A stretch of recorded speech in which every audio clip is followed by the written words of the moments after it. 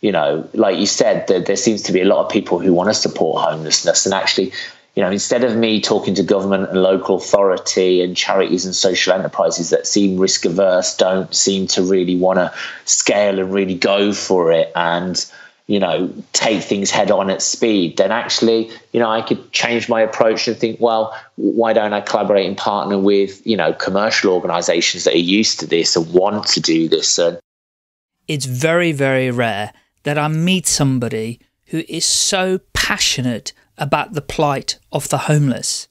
Richard has such an amazing idea, such an amazing plan and mission to really look at a sustainable project throughout the whole country. This is the United Kingdom that will significantly improve people's life. I'm talking about the ones that are homeless, of course. And is there anybody, whether it's government, whether it's corporate, whether it's social housing, is there anybody out there who is really going to support him with this project? You're going to have to listen to part two to find out. Staying Alive UK. Share your story. Welcome to part two of your interview, Richard, today on the Share Your Story podcast. Thank you for, for doing part two. I'm looking forward to hearing the continuing journey that you've been on because we've got a lot to talk about actually. So where we left off um, are you all right, by the way? Let me get am, you to answer. Am, yeah, yeah, you're okay. I didn't. I didn't want to interrupt you. So. no, that's fine. That's fine. I was nearly not allowing you to say anything there. So, so thanks for coming back. I really appreciate it. And um, so where we left off was that you had gone uh, and jumped ship, and you'd gone to this uh, social housing organization for like a pittance. Mm -hmm. Um, and but but in that, I mean, it was amazing because you saw an opportunity for your social entrepreneurship and your ideas and, and what you wanted to achieve and develop that with somebody who was like-minded. So, so get us back on track with that, uh, if you wouldn't mind, because people may have yeah. not, they may have been interrupted and they can't remember where we left off. So give them kind of a signpost and then, and go from there. Yeah, so yeah, I, I, kind of decided to finish my contract with London College of Fashion, setting up a fashion training and manufacturing facility for them um, down in London on the basis that I, had been down in London doing that contract, trying to talk to to investors um, mm. to raise some social investment for for initiative. Um, and I, I, couldn't raise the level of capital that I needed, but the feedback was that if I could come up with something for around about half a million instead of a million that was more profitable and generated sort of higher returns for for the investors, then the likelihood I was I was going to kind of be successful. So I had that in the back of my mind, and at that same sort of point, um, the managing director of um, a social investment group that I, I, work for as a social entrepreneur in residence kind of came to me and said, Oh, I've set up my own charitable housing association. Like, I really want to set up a social enterprise. Come and come and kind of work with me. So, kind of, it, it was a point really where the contract was potentially coming to an end. Right. That the feedback I was getting from investors was, you know, you need to come up with something else before you do something of the size and the scale and capacity that you want investment for yes. to get more of a track record to prove that you you know because the contract at London College of Fashion was about 150,000 I was asking for a million and they were just like it's too much. You need somewhere in the middle and rather than carry on working for, for London College of Fashion, I, I, thought, well, okay, I've kind of got investors in place here, or I just need to come up with a new concept for half a million pounds. And obviously, then, you know, somebody who had worked with before who said, you know, I've just set up a new organization. I want to work with you. Let's mm. create a social enterprise. Everything sort of seemed to come together. So I yes. left London uh, and moved back um, up to Birmingham. And uh, and I did kind of say to the Charitable Housing Association, was like, I, I need a job, I need somewhere to kind of work. And uh, and at the time, all they could offer me was was sort of 20, 20 hours part time in a homeless hostel. So kind of going from earning forty five thousand pound working in London to suddenly earning, you know, sort of minimum minimum wage or seven and a half grand a year. But for me, it was great because you know I could come back. It, it gave me enough income to to to cover my my costs, and then it, it gave me the time to develop the social enterprise um, in in partnership with them, really, and and kind of unbeknown to me, really, at that stage, I wasn't really necessarily sure what the social enterprise was going to be. But obviously, mm. the experience of working in a homeless hostel and actually seeing how difficult it is for individuals to kind of move on from that situation, yes. the reasons behind that, you know, quite often people kind of think like, you know, people are there because they kind of want to be, or, you know, that they don't want to get employment, or that they, but actually, it's a difficult circumstance to be in for anyone, mm. really. And, and especially if you're in that point where, you know maybe your mental health is is suffering that you are quite isolated uh, and vulnerable um, and alone. So I started to kind of design a number of concepts based around supporting individuals at risk of homelessness to kind of move on really from homeless hostels, you know, uh, and shelters because I kind of recognized how difficult that potentially was, um, you know, for for a lot of the individuals there. And I, I, developed about four or five different concepts, really. Yeah. Um, and um, the the one that kind of really resonated the most was creating move on accommodation for individuals at risk of homelessness because there's about at the time sort of five years ago there's, there's probably sadly um, a lot, lot more. I've not kind of researched and look, looked into the figures recently, but at the, time there was 180,000 individuals at risk of homelessness in the in the UK, living in hostels and shelters, and government spends about two billion pounds a year to house them individuals. So to take someone off the street and put them into a homeless hostel costs eleven thousand pound in housing benefit. Wow. Then they have to be on job seekers allowance. They have to actively be looking for employment. So there's about another four thousand pounds there, and then mm. there's some NI contributions. So to take a rough sleeper and just to put them in a homeless hostel, which is just kind of in a room, get them on their job seekers allowance so that they can claim the housing benefit. Ultimately, I mean that's the reason why, and then to obviously have NI contributions. So if they need to go to the doctors or the dentist and kind of access to sort of mental health services, then they're kind of registered and covered for all that. It cost about sixteen thousand pounds a year. So obviously, kind of when I figured this out in my mind, I was like. I've just spent, you know, kind of that's 12 months, you know, for example, down in London working for London College of Fashion on a contract, earning £45,000. And that was the first time I'd, I'd actually earned a proper salary, like yeah. what people would call normal or, you know, or, or, or decent money. Really, I I kind of scrape by here or there, kind of working part time, running my own projects, and I was kind of astounded really by obviously the number of stoppages that you had. So I was like earning forty five thousand pound, but my take home was actually like about thirty thousand pound a year. So I was like, wow, I'm getting fifteen thousand pound taken off me. Yes. And then suddenly I had the realization that was like, well, actually, I'm working really hard down in London, like 50, 60 hours a week, and then having £15,000 worth of stoppages. And then all that money is actually then doing is taking one homeless person off the street and sticking them in a room yeah. into a situation where actually they're finding it difficult to kind of move on, gain employment, and, and live independently. Yeah. So I kind of felt that was like unfair on, on the homeless individual in some instances and respects. Um, you know, that they were kind of in a situation where it, it, was like extremely difficult to, to kind of move forward. And then equally, I felt that actually that's quite unfair on the taxpayer as well. If you're mm. working 50 or 60 hours a week, kind of providing for yourself and uh, and and obviously you know paying back into society. And then you're thinking well actually me working full time is just supporting another full person full time to literally kind of just be in a room and yeah. not being able to move on with their life and kind of move forward. So i kind of felt for the individual and the taxpayer kind of it wasn't necessarily the best deal. So um, yeah kind of because I'd been trying to set up another social enterprise, getting hold of like unused um, commercial property, but to create a platform that supports local young designers.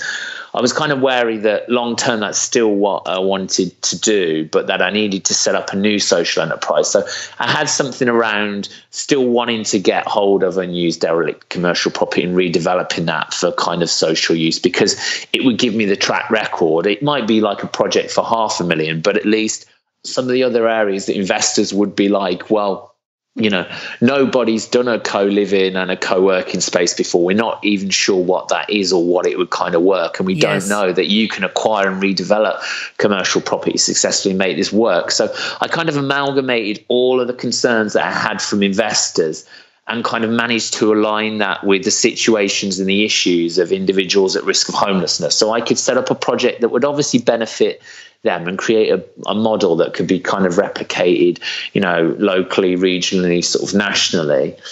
Um, but equally kind of tick the boxes that I needed ticking in order to get the experience to then be able to get larger amounts of investment to kind of what do what I wanted to do long term. And out of the four or five ideas, the, the, the idea that resonated uh, the best was to create move on accommodation for individuals that live in homeless hostels and shelters where I'd get hold of derelict on unused commercial property to create social housing on the upper floors, so units of accommodation in the form of like studios on the upper floors, yes. and then on the ground floor turn the commercial space into a social enterprise initiative where the individuals who are housed above can gain on-site access to training, education, and work experience. So can I just interject there? Yeah. Had, had you seen that idea in working anywhere else? Had you ever come across it?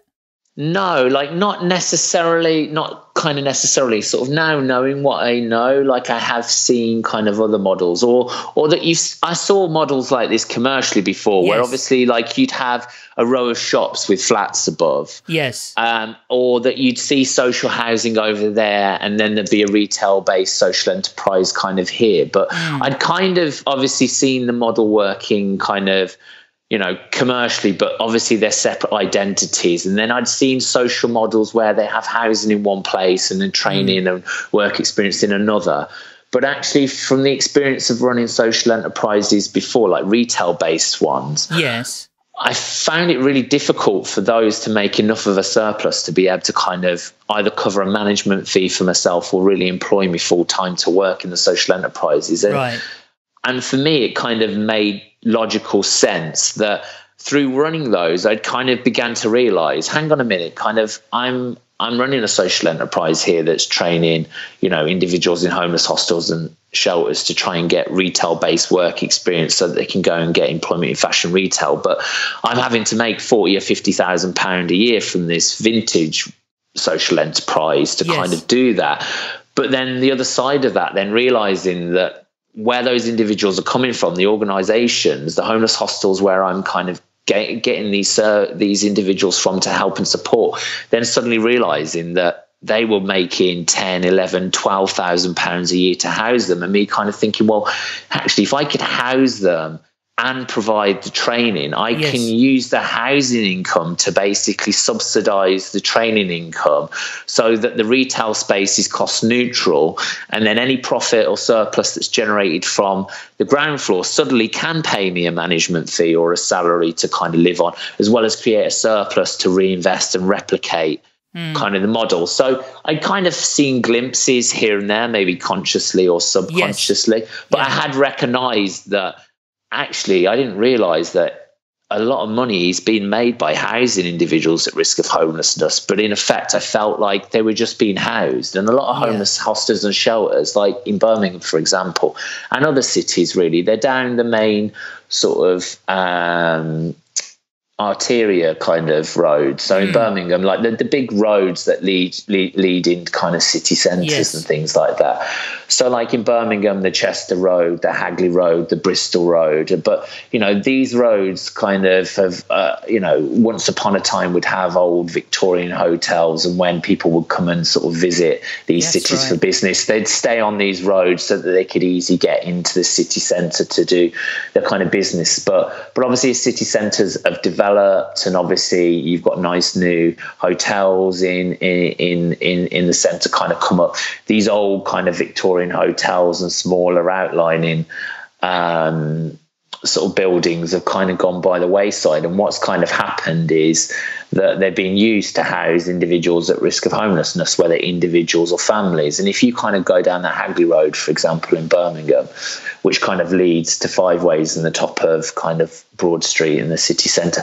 There's loads of old Victorian style looking hotels. Mm. And if you kind of look at them, they say no vacancies on the front. So you think, oh, they seem to be doing well. But then you'll notice there's no real cars parked on the front either. Oh, and right. what people don't actually realise is they're, they're just full of homeless individuals because wow. like the homeless hostels and shelters themselves quite often you know, in the city centres are full.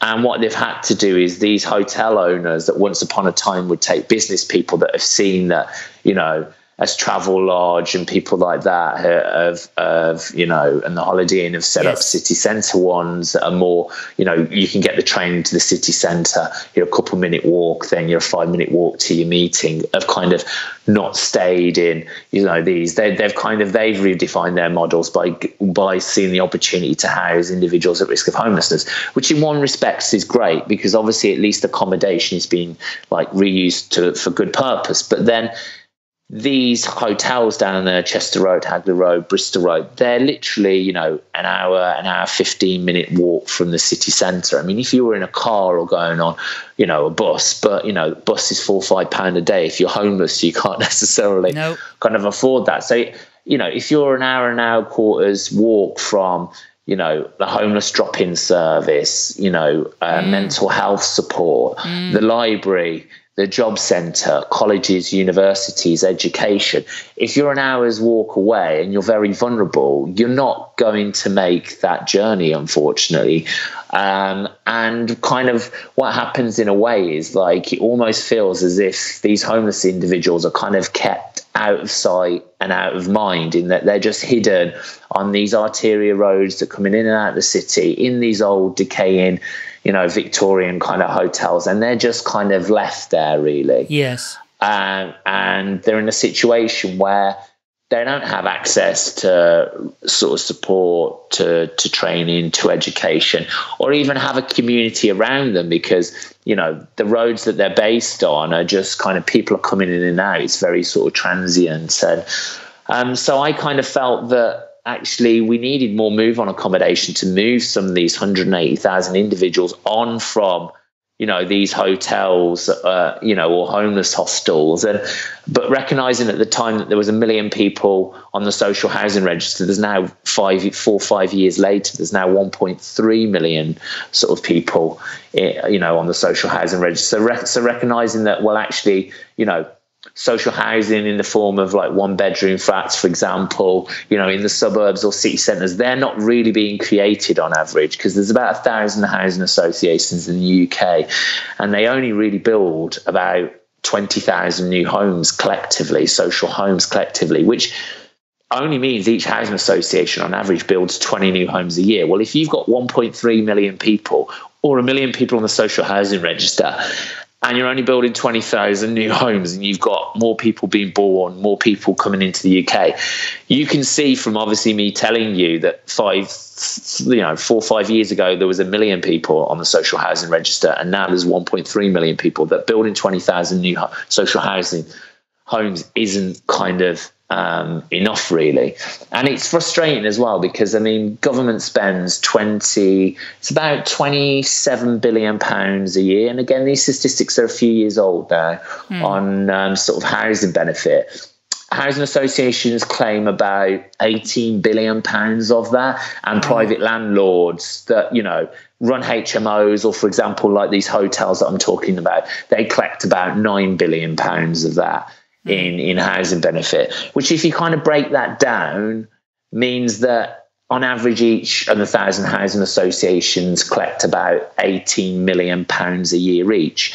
And in return for 18 million pounds worth of housing benefit they they they only build 20 new homes which if you break that down again means that they only build a new social home for every eight or nine hundred thousand pounds that they collect mm. in housing benefit which you know if you're a commercial business is if you're a commercial housing builder you know if you knew for every new home that you built you could collect eight or nine hundred thousand pounds worth of revenue you know yes. you, you you you'd think you'd had the world's greatest kind of business model and you think that you'd have it kind of quite easy so i kind of recognize that you know the issue was only going to get worse. And obviously i've been proven right in the last like i said three or four years there's another 300000 people in the social housing register. So i was kind of like we need to build more social housing and that's obviously not really being done by charitable housing associations and the sector or or necessarily kind of all the commercial builders are focusing on building commercial property because they need to kind of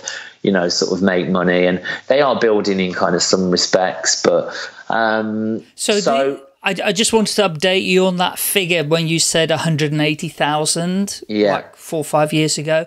That figure is now 320,000. Yeah. So, by the way.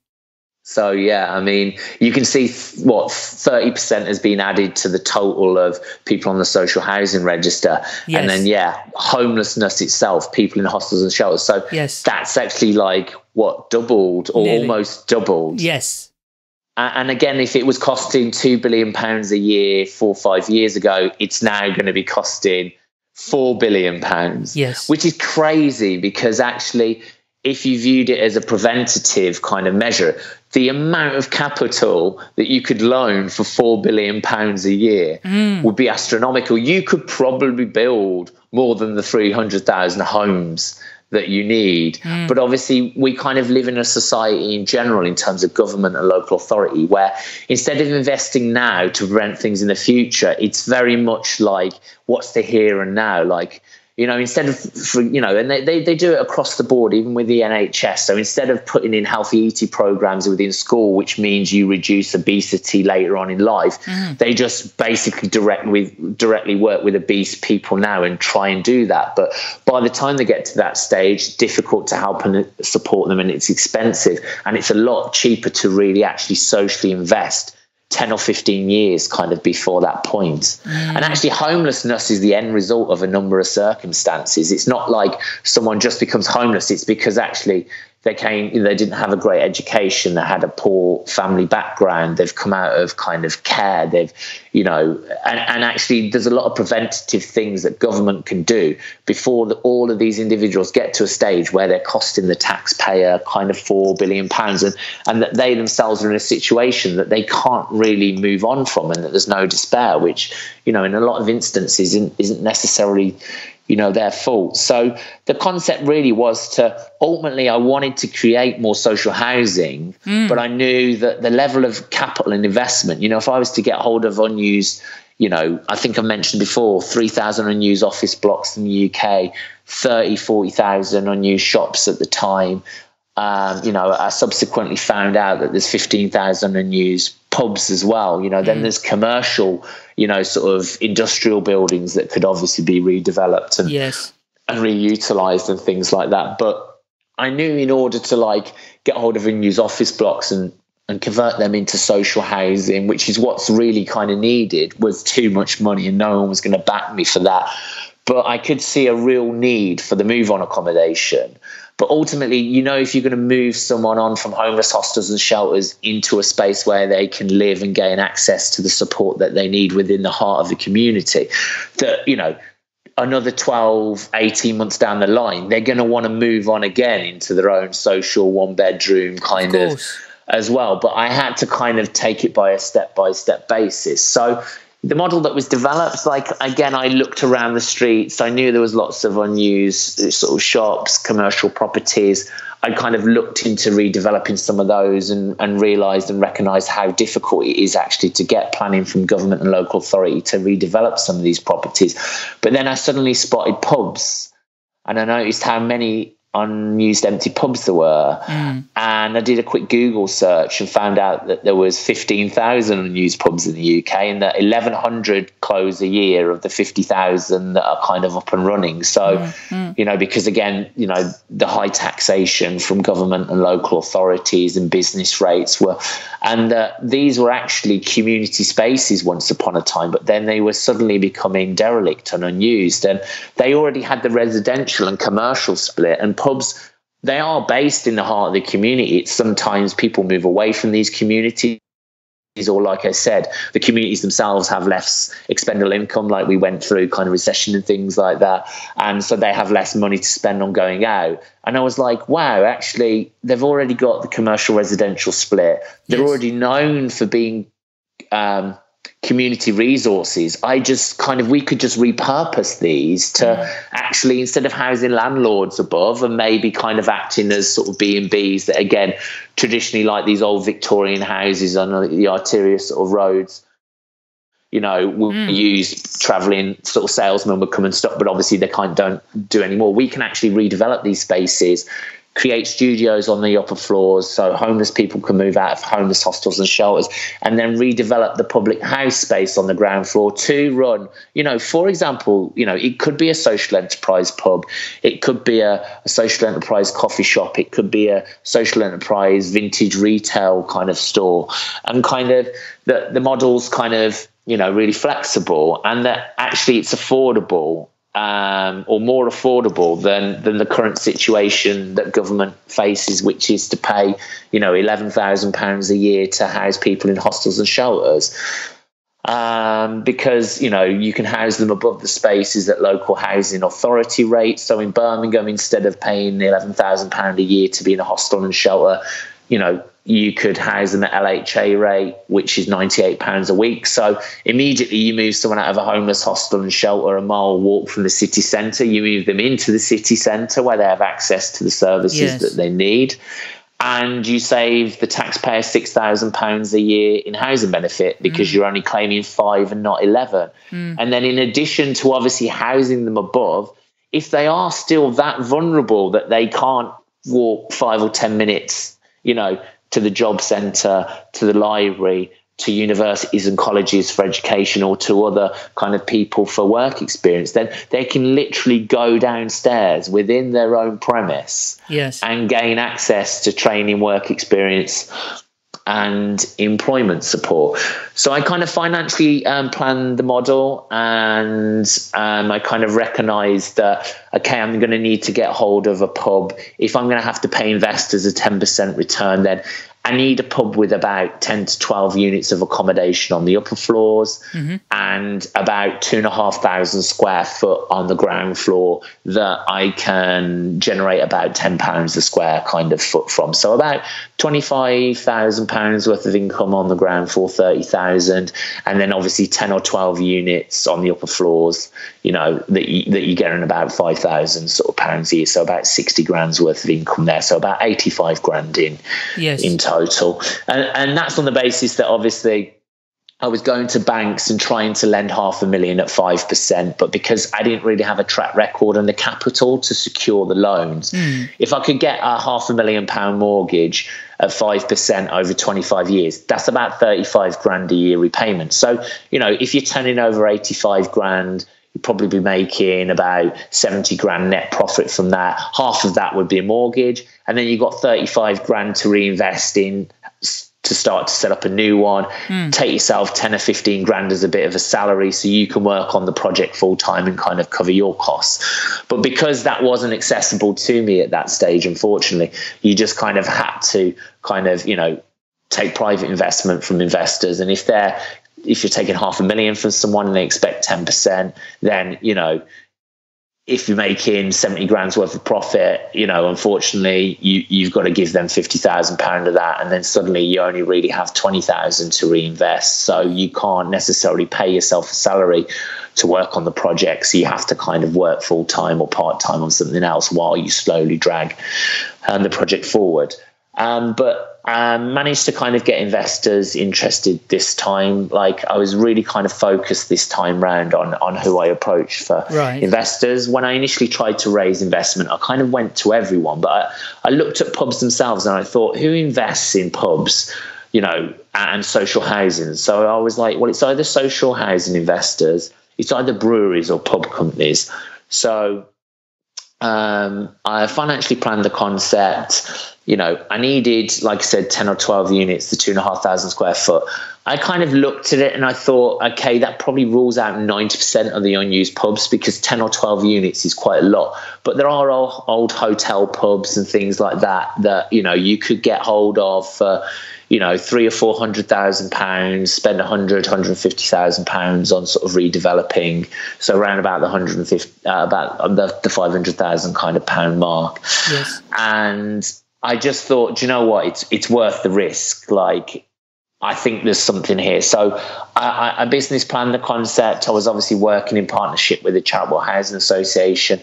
I was working in the homeless hostel, and I was I was kind of you know researching like you know doing primary research if you like supporting homeless individuals doing their one-to-ones helping them trying to move on and seeing all the issues that they challenge and challenges that they faced kind of unbeknown to them, asking them questions about would it be easier if obviously you were in a city centre location or or that you know if these services were closer or, or or what could somebody do like to make your situation be- better or to help you move on forward and kind mm. of all of the feedback that I was getting you know, obviously help to design, you know, the model really, to influence yes. the model, to house people centrally in a heart of community where they can be seen, where they can gain easy access to support services, you know, and, and where they're in the vicinity of, you know, friends, family, and, and kind of everything else, not hidden away, you know, sort of miles away.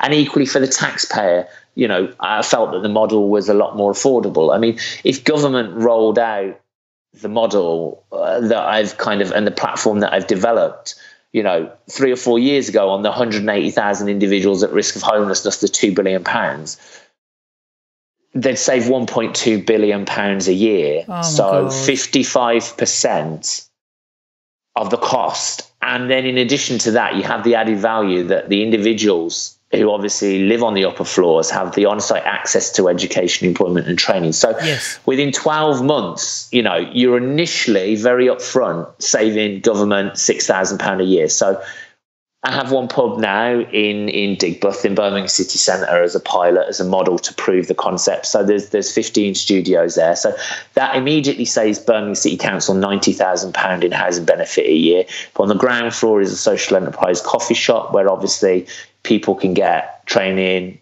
um, work experience, and employment support. You know, and within 12 to 18 months, you're taking somebody who's costing £16,000 in benefits. Immediately that drops to 10. You're then training them up and then getting them into employment, into a job for Costa, you know, Starbucks, you know, Caffè Nero, for example, like the large chains sort of coffee shops. Yes you know, and even minimum wage nowadays, they're suddenly earning sixteen thousand pounds. So within twelve to eighteen months, you know, there's a swing of costing government sixteen thousand pounds a year in the taxpayer to then the individuals earning sixteen thousand pounds a year and paying tax and income, mm. uh, you know, and, and national insurance kind of on that as well. But whilst that whole process is going on, you know, you're rejuvenating community assets you know, people have been coming into there and sort of using the social enterprise.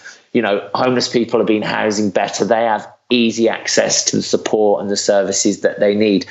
Uh, and it immediately saves the taxpayer, you know, a, a, a lot of money. And it generates the return that it needs to in order to kind of cover investment or repay mortgages and and and, and things um, like that as well. And and it's you know like I said, it, it's it's it's highly scalable. And if you know government adopted this model and saved this 1.2 million pounds, which was that at that stage. I mean, we now know it's it's four billion. So what you know, you, you're looking at it could save government you know what 2.2 billion now you know, I know mean they're crazy like numbers aren't they? They're crazy numbers yeah. when just to put that into context i mean the whole of the welfare state i think it's about 200 billion pounds a year that we spend. So actually if we're talking about this model was implemented and could save government 2 billion pounds people might look at this 2 billion and think well you know it sounds like a lot of money but really it, it's it's 1% of government's total spend yeah on the whole of the welfare, you know, mm. state. But this is what kind of social entrepreneurs can do and social enterprises can do. They they might not necessarily make a fortune, but you know, if just within homelessness somebody can create a model that can in effect save 1% of the whole welfare space then then you know what could a social entrepreneur if, do if, if government says to them why don't you take a look at the nhs or the prison service because the prison service costs us 11 billion pounds a year at the moment to have 105000 people locked mm. up in prisons mm. 100000 which are men, 5,000 which are females, and then to have 180,000 people on probation. So basically, 300,000 people in this country within the prison system cost 11 billion pounds. Yeah. 300,000 people who are at risk of homelessness in hostels and shelters cost you know, four billion pounds. So, you know, there's 15 billion pounds there. You know, that's a very, very sizable chunk of the it's welfare state. Massive. You're, you're, you're into like, you know, seven and a half, 10%. But, but actually, like, it's, and, and I wouldn't necessarily fault the individuals who were in those systems because how they're currently set up, it doesn't really help and support them to move on. And government's in a situation where it can't really create better systems because they're costing so much to run. Mm. But they need to uh, support and back social entrepreneurs like myself who actually have models that can completely revolutionize that sector where we can actually get external investment. It's just that we need someone bigger and you know, supposedly better than us, or who know more than us, above us, to just back us and allow us to leverage the capital mm. and roll out the models, the things mm. that we kind of want. But that's not, you know, necessarily kind of happening at the moment. It's it's interesting. Um, I I put a, there was a little clip that appeared on Twitter yesterday by ITV News. Yeah, where they took uh, they went on the streets of Birmingham one night and filmed what was happening with the homeless and they interviewed some of them. Yeah. And it's a really hard hitting clip. Anyway, I grabbed the footage and I created a little video out of it, put it onto LinkedIn. And there's a hell of a lot. I forgot to tag you actually, so I must tag you on that. Yeah. But there was a hell of a lot of activity and comments and people saying, oh, how can I help? You know, business people saying, yeah, how can I help? How can I volunteer? What can I do? There are so many people out there that are, there are. that want to do something, right? um, and what just occurred to me as well. they can't really do anything because these people are hidden. I know. You know, they're hidden like away from sort of society and they're they're put at the foreground and there's a lot of people kind of, you know, in the city centres working and living who want to kind of help these individuals. But you know, like I said, it, it's it's not only having a space in the heart of the community that the homeless individuals can gain access to the services that want to need. It's mm. then the community knowing that actually I want to help and support these people. Where can I go to to actually, yes. and how can I do that? And if you know, if you're if you're redeveloping a new pub, and you know, and usually like some guy might go in for a beer, but instead of going in for a beer, you're going in and deliver a workshop for some homeless individuals. Mm. Mm you know, and actually you've got a space where you can just drop in. You've got homeless people living above. So it's like you just go in, you've got a nice space to work from, you've got people to help and support. It's a very easy, functionable kind of model. Whereas at the moment, you know, in Birmingham, for example, like there, there seems to almost be like more homeless organizations than necessarily kind of rough sleepers on the I streets. I know. And because they are hidden, they're moved on. And and it's kind of you know, it, it's crazy in that respects and instances, and there's a lot of people concerned. But like I said, the platform's not just better for the homeless people; it's better for the community to allow them to actually, you know, get involved and have an impact themselves. And I think the distinction here is, you know, where the heartstrings get pulled. And the press and media are great for doing it. You know, I applaud them for doing it and highlighting the problem. But they they're always focusing on the rough sleepers, right? Yeah. And it's like, look, we got that's the tip of the iceberg. It's the tip of the iceberg, and I appreciate that's what you need to get the mood change, you know, to highlight yeah. that. But we're talking about a figure of 300,000 people, you know, yeah. in the country being homeless in one way or another, and all of these people that are hidden in hostels. Uh, uh, yeah, was, uh, and there's there's hidden because obviously, I mean, those three hundred thousand, you know, they're, they're you know they're on the streets, they are in these hostels, they are in these shelters, but in they're a, in tents, you know, they're in cars. Yeah, yeah, yeah, yeah, and and if you look beyond that, you know, like you know, these are the figures that government sort of says, okay, these are the people that we're paying housing benefit for currently, you know, because mm. I assume this is where these the official figures come from because they no know they're paying yeah. benefit for. So, like you said, like actually, it's probably not taken into account the people who are sleeping on other people's sofas, Mm. you know, or in abandoned buildings, or you know, so the, the figure could be even higher, like half, a, you know, half a million, or Mm. you know, I mean, if there's 1.3 million people on the social housing register, you know, and they're saying there's 300,000 people in, you know, who are homeless. There's there's a million people who are obviously hidden, like they're hidden homeless at the moment, know, you know, who know. who who are you know who are stopping with friends and family and Yeah. and have got nowhere to go and What- yeah what I what I what I loved in some of the things that you've been saying about having this space where they can train, you know, like you said, coffee shop, where they Yeah. can become a barista and then take that skill and go and work for a coffee place somewhere else. And I saw um, there's a coffee shop on Colmore Row called Coffee 200 or something, 200 degrees. 200 degrees yeah yeah yeah, yeah, and they've got a downstairs, I think it is. A, a training school yeah it's really got a cool training school yeah yeah yeah and I could just visualize that. You know, you'd have a training school for people where they could train how to make Yeah. great coffee.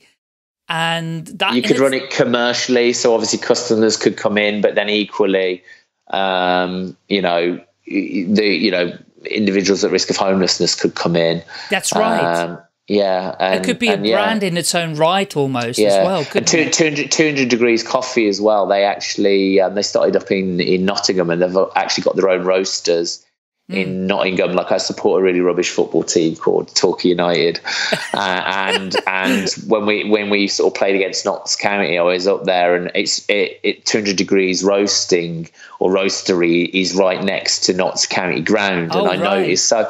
I mean, there's huge like opportunities where obviously you can get hold of you know these unused public houses, for example, mm. or, or shops. You can create the units of move on accommodation on the upper floors. You can then create social enterprises on the ground floor.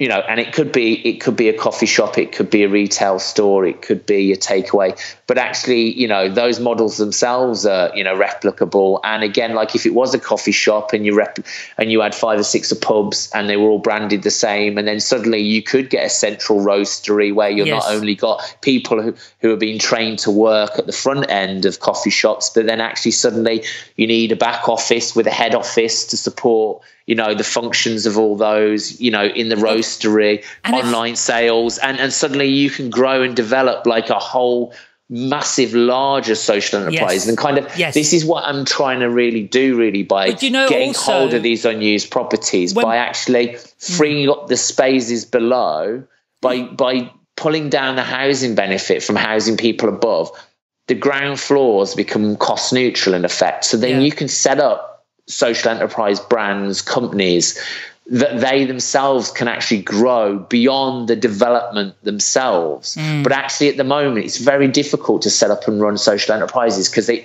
it costs you more to run because you're training and working with individuals from disadvantaged and social excluded backgrounds. And you make less because obviously, you know, the individuals who are selling the products and services are from disadvantaged and socially excluded backgrounds. So, you know, if you were employing a recent graduate, you know, who's well educated, you know, who's got good work experience, you know, you know, by you know, kind of by situation, they're going to be more commercially, they're going to generate you more kind of income. So, you know, what I'm trying to do really at the moment is level the playing field for social enterprises to start up by actually creating the move on accommodation, and then beyond the move on accommodation itself you then actually need to then get hold of the unused office blocks and then create the holy grail which is these like one bedroom flats in the city Yes. centres which Yes. i started to do after you know that project um, itself i managed to raise sort of 1.5 million after raising the half a million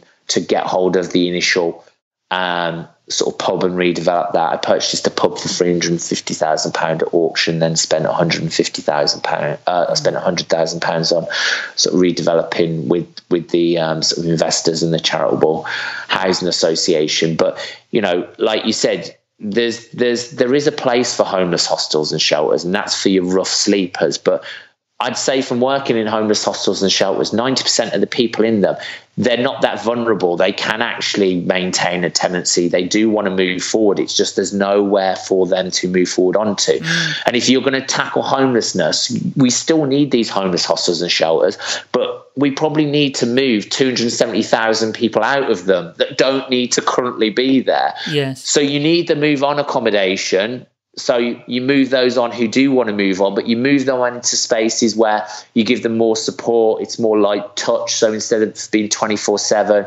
someone drops in a few times a week, they maintain their tenancy. You make sure that they're accessing local services for, for health, mental health, that they're in training, doing work experience. And then when they get into employment, you then need to move them on there from their own one bedroom tenancies. So mm. a lot of them are too scared to go into private accommodation because once upon a time they were working, they lost their job, they were kicked out because most private landlords won't accept housing benefits. So a lot of people won't move on until they're actually in social housing because they know if they go back into work and then lose their job again, they're not going to be kicked out of their home that yeah. you know that them paying their housing their, their their rent on their you know social property if they lose their job will then be paid in housing benefit and they're suddenly not out on the street again mm. so you know moving on from getting hold of the unused commercial property and having the units above and the social enterprises below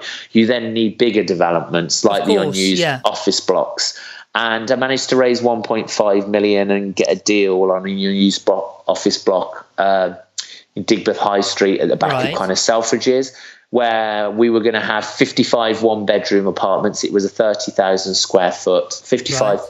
one bedroom apartments, and then there was about 10,000 square foot on in the basement and on the ground floor where I was going to have the social enterprise to support local young designers that I wanted to kind of create. Mm um, I, I sort of got all the partners on board, you know, had a, an offer for a 40 year lease, kind of had everything, all the planning, um, sort of application kind of ready, all the plans drawn, kind of ready to go in for planning, and then started to approach kind of Birmingham City Council, kind of the planning agency, and obviously ta- ta- city centre manager um, counsellors to try and get support because mm. I, I, at this stage I could actually see why, in some instances, so much little, um, so little, um,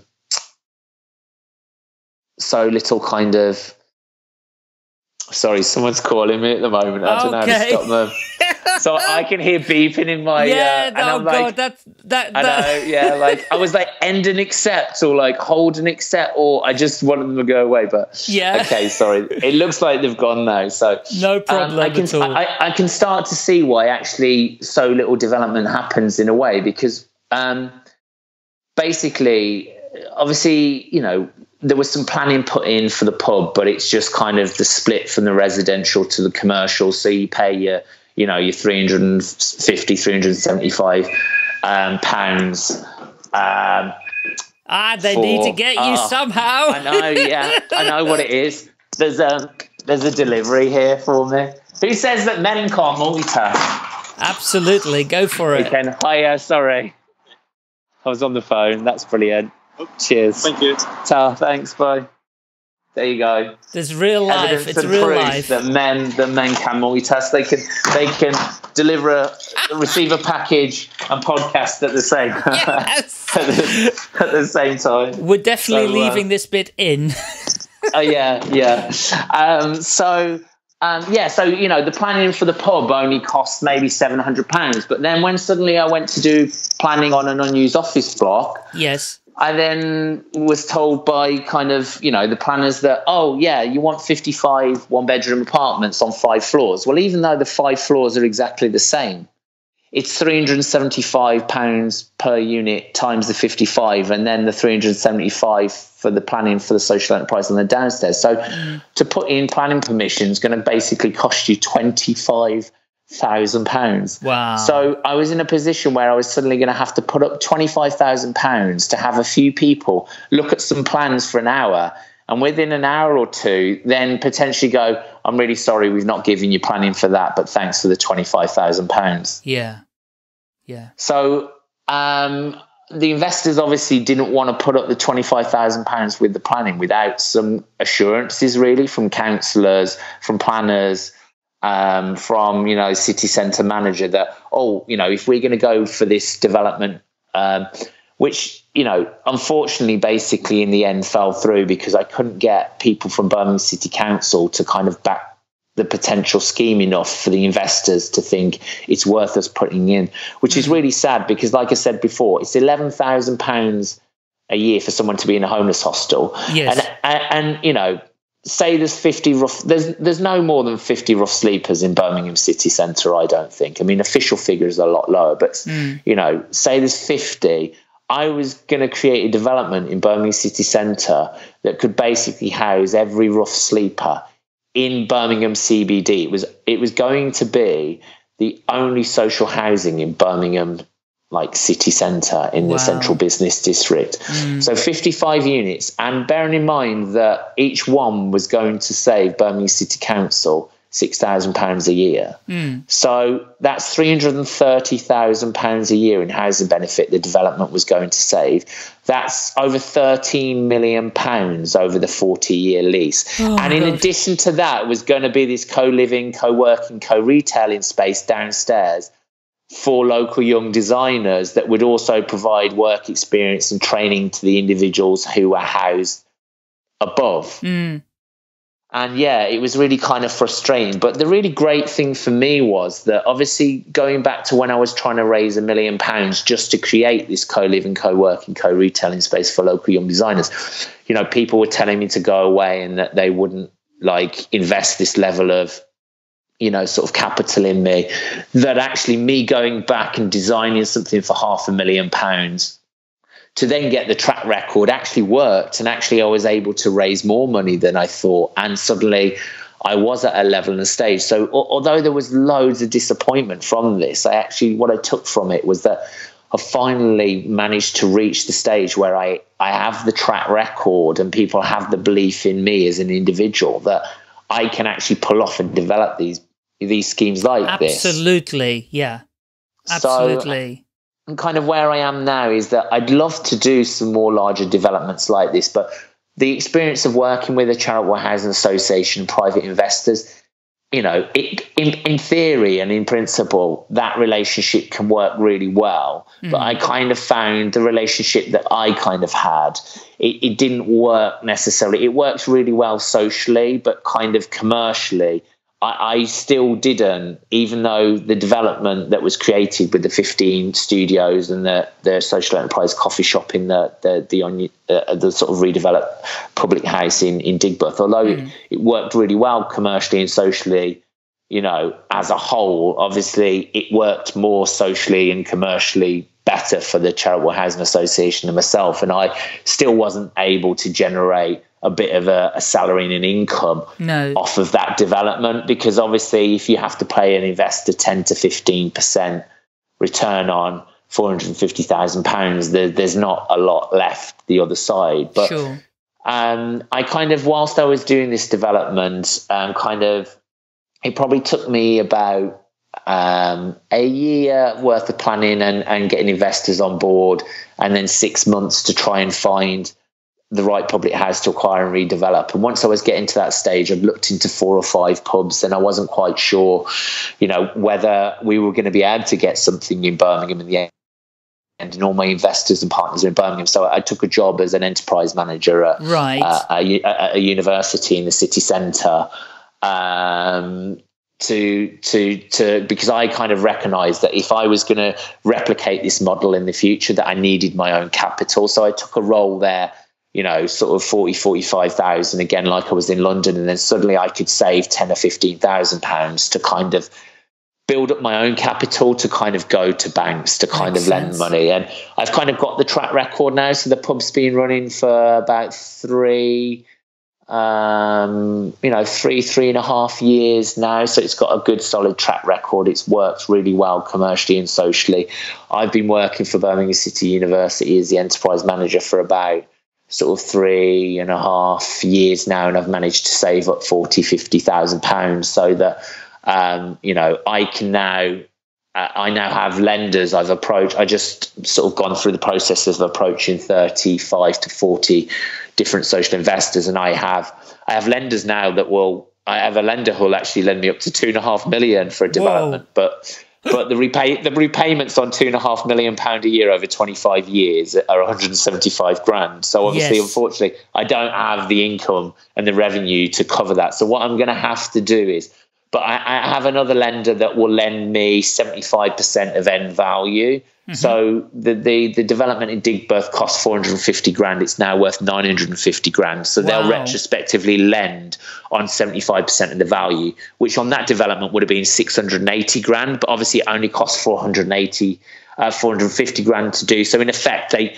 they would give me a 100% mortgage, but they they wouldn't give me a 100% mortgage. They'd actually give me 75% of end value, but that would equate to 100% uh, mortgage. But I, I built up capital anyway. To, and this is this is why, like, as well, like, because banks won't and social investors won't back and support young social entrepreneurs unless you have money to put down. But then if you have money and collateral to put down, then you wouldn't go to social investors. You just go to banks.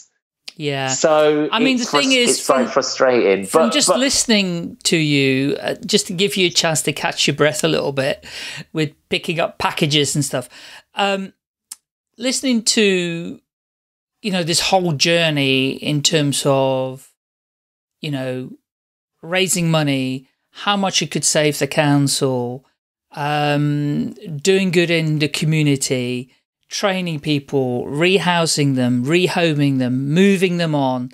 You know, th there is so much involved with that. If you, if somebody came along to me and said, Michael, do you fancy doing this? And I'd go, I have no idea what I'm doing, but look what's involved. And I, for whoever is listening to this podcast, you know, that, that just listening to you and the knowledge that you have on the a the subject matter involved and the, the yeah. community that's affected mm -hmm. but mm-hmm. also the whole financial modeling and and all the processes you need to go through project and the process and the end goal and the drive and the you know enthusiasm for making this happen that that's that's what you, people are buying into forget about oh i need to raise this much i need to raise that if somebody could just kind of bottle what you've got, you know, in yeah. terms of your kind of inspiration with this. This is what happens on Drag. You need to get onto Dragon's Den, I reckon. They can't. They can't lend enough money. Could they only lend up to a quarter of a million? And I really, uh, unfortunately, but a quarter of a million is a stars. It, well, uh, uh, unfortunately, like believe it or not, a quarter of a million, you know, probably wouldn't buy you, you know, no, you know, know, a pub. So and and you ha- like you have you had like like when I first did the financially planning with the returns that you have to pay other people. Uh, you know, it's like oh, if they want a ten percent return, I have to have ten or twelve units, and yes, you know, yes. realistically, you can only do that for about half a million. So, but I mean, fortunately, the position that I'm in now is because I have the track record. Yes. Um, and I've built up my own capital. I've now, you know, I've now got a lender who'll who'll lend me money when I want, you know, up to you know, like I said, five, six hundred thousand pounds. And what I'm going to have to do over the next few years is, you know, in other parts of the country, acquire and redevelop other public houses. But instead of using investors' kind of money and paying 10%, I can lend at 5%, have a repayable mortgage over 25 um, years, and I can slowly, obviously, pay that down. And and if I can get you know another three four five of these pubs up and running in the next five to to ten years with the residual income from that i can then start to access like i said i've, I've had offers of up to two and a half million pounds in capital. I can then start to generate 150 200000 pounds worth of residual kind of surplus in income from another four or five public houses to then service the loans to then get hold of the unused office blocks, to redevelop them, to create, you know, to not only have the studios with the social enterprises below as the move on yes. accommodation, but then to be able to provide the one bedroom flats in the city centres with even it. larger yeah. social enterprises on the ground floor yes. to have even larger impacts. Yes. Because, you know, at the moment, there's a lot of social entrepreneurs kind of like me and people in the community that want to do good, mm. but all the mechanisms at you know, that are set up, they, they only really benefit, you know, commercial entities and commercial entities that can run at scale. And that's why, like, you know, every high street's basically the same. It's all big companies. And again, like, even like the high streets are all owned by pension companies, by insurers, by mm. banks, by mm. financiers, by high net worth individuals. Mm. And everything is geared up towards scale and large, big kind of business. Whereas actually, social enterprise by and large is smaller scale. But in order to level the playing field, individuals like myself kind of are trying to create platforms where we can go and get hold of commercial property that nobody wants, like pubs, where we can then provide the much needed social housing and then spaces underneath for social enterprises to come in and, you know, instead of charging them a rental, for example, I can literally say to a social enterprise with that model, knowing that I have enough money from the accommodation upstairs to cover the cost of the whole development, I can take a financial risk myself and, and say, well, instead of taking a fixed £15,000 you know, rental income from this that mm. I could then at least pay myself 300 quid a week, you know, from that as a bit of a salary. Actually, you know, I'm in this more to help people. So actually, I can risk the space and I can work with and support a local, another local social entrepreneur or young entrepreneur or charity or social enterprise to set up an initiative and actually take a profit share in that and help them grow and develop that entity that maybe I could then replicate, you know, sort of you know that with them in other locations where I can put social housing above and kind of have a new approach to kind of capitalism in a way because I, I, believe you, you, can make money from helping people and supporting others. And i actually personally believe you can make more money helping and supporting others than you can through capitalism. It's just it takes a lot more time energy and effort. And yes. unfortunately capitalism is about short-term gains. And equally government runs on this principle as well. Even that you know you get elected into government you have what four to six years in. And, and you've you're, you're, you're kind of judged on what you do in a short period of time. But long term, systemic social issues and challenges can't be um, made right or corrected with short term solutions. You need long term kind of aims, goals, and objectives. And I, you know, I believe I can start to build kind of platforms to not only house people, but equally to kind of put other social entrepreneurs and social enterprises on a footing where we can all work collaboratively to kind of, you know, fight commercial, you know, industry and larger industry and and make you know make the world a kind of a better place than than you know kind of it it, it is today. But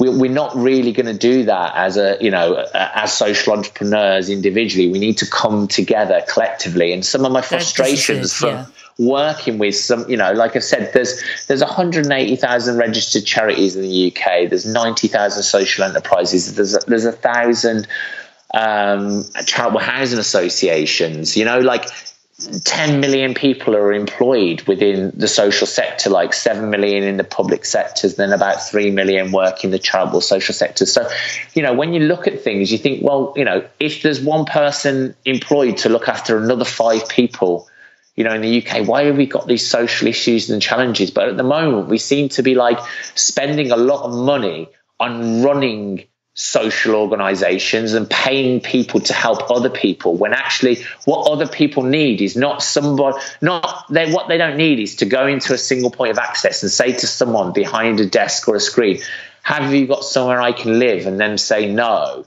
and then the person telling them no is being paid 30 you know 30, hmm. 35,000 pounds a year. And then in my mind, I'm like, well, for 35 grand a year, I can buy another pub for half a million pound and redevelop it and create 15 units of move on accommodation and another social enterprise. And it's kind of, we seem to like basically be kind of paying people to try and support other people or not being able to pay and support other people when actually we need to be using that money instead of creating all these organizations with all this infrastructure that cost a fortune to run mm. and actually just creating platforms that are very cost efficient and very cost effective like the one I've created yes. where people can go and help themselves because ultimately like you know at the moment you know, there's enough excuses for homeless individuals why they can't move on. And what we actually need to do is create platforms where there's no excuses. Mm. and that then you know those that can move on will and can make the most of their lives. And those that need the extra help and support won't. And then they can be identified and they can receive the more intensive support that they actually kind of you know sort of need. And it's just frustrating because i mean you know we give 8.2 billion pound a year to, to charities. So if there's 180,000 registered charities, you know, in the UK, on average, it means we give about 300,000. Well, you know, if each charity on average employs 10 people, well, you know, by the time you've paid them a salary, there's not a lot left of that 300 grand and they've rented an office. Mm. You know, so again, it's like, who is that charitable or social organization really actually benefiting? Is it benefiting the 10 people who it's employing, or is it benefiting the service users? But if only 10% of its income is actually going to deliver its services, then to me, you know, it's it's kind of we, we need to change this this model. You know, at the moment we seem to be going from a top down model, whereas we need to be going from a you know a bottom top. Uh, and the models that I try and create like that. And equally, like I don't try and create new organizations. I create platforms where existing organizations can come together and work collaboratively yeah. and not compete. Because at the moment, we've created a charitable and social sector where charities and social enterprises are just fighting over government and local authority contracts and, and donations from the public. And the public's going, we're already giving you 8.2 billion pound a year. We can't give you any more. I mean how much more money do you really want? And actually how and where are you using that money? You know and and the same is happening in government and local authorities. So we, we kind of you know we need it's institutionalized and we need to create new models and platforms that allow these individuals and organizations to work in a way that like you said creates a platform to actually allow people to help and support themselves because we've used the current model for you know the last thousand years if you like. And and as you've seen as we've seen you know in the last five years 300,000 more people are on the social housing register. You know people in homeless and hostels and shelters have nearly doubled. So you know we, we need to completely change the whole system right from government to local authorities to how charities to how social enterprises kind of run. And and within that you know we, we need to adopt more kind of commercial models but we, we need to work you know collaboratively um, and not against one another. Um, yeah so agreed. but agreed. Yeah but you know unless you create the platform that allows people to do that which is what i'm in effect trying to do you can't really show people you know the solution because unfortunately, you know, if you're really entrepreneurial and creative like we are, like I know that, you know, we met over a conversation and you can immediately see my vision and what I'm trying to do. But nine out of 10 people, unfortunately, aren't like that. No. And so, like, I even had to create, you know, the, the initial public house model. So I could take some other people, you know, from the council round and go, you know, I was talking to you three years ago about trying to do this. This is what I'm trying to do. And you bring, oh, this is what you meant. And you're oh, like, I know. What did you think I meant when I said I was going to get hold of a pub and house homeless people above and have a social enterprise down below and it will save you this and do And it's not until somebody can actually come in and smell and touch and it's feel. ridiculous. People have it, no imagination. no, no.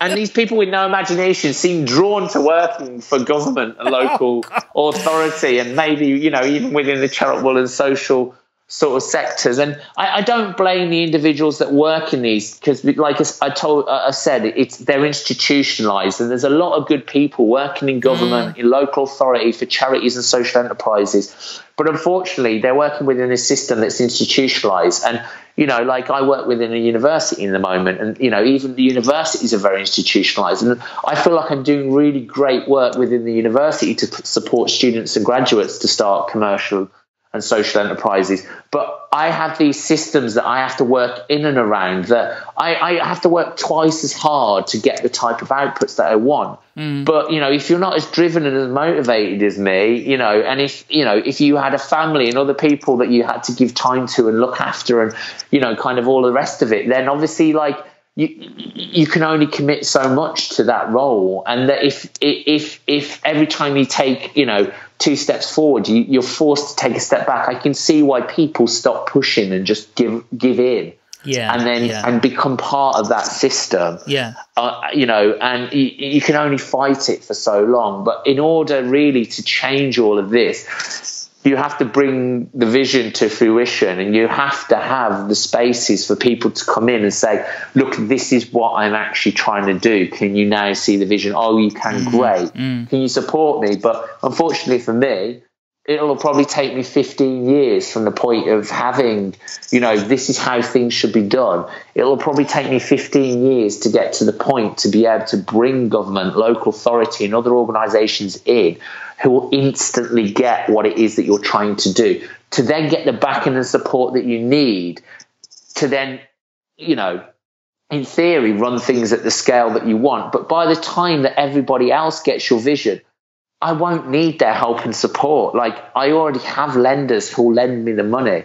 You know, I've already got collaborators and potential partners. And the really sad thing is quite often is like government and local authority, you know, funders, you know, trusts and found, charitable trusts and foundations, they will only back social enterprises and social entrepreneurs almost at a point where it's like, you know, you know, you're the you're the leading or you're the winning horse in the last few legs of a race where they're, they're only prepared to back certain winners and and actually you're like, well, I don't need the backing and support now. I, I needed it at the starting line. Uh, and, and, and, that's really frustrating and, and, and stuff. But, you know, when I get to that point, you know, government, local authority, other people might come knocking. But, you know, I'll probably be in a position where I'll be able to say, I, well, I don't actually need you no, now. I'm really no. sorry, but it's nice that you've recognized all my hard energy and effort. And, you know, did you know that I've spent, I spent five, ten years trying to get your help and support but I don't need you now, you know, and there's no there's no value that you can add like to, to kind of what's been done. I mean, mm. I am still in a position where, you know, government and local authority and other organisations, you know, investors and funders could come to me and I can kind of use them. But, you know, I, you know, if that doesn't happen, fortunately, I have all the skills, experience, and expertise that I kind of now need access to the capital. Um, you know, it's just I, I need more time now.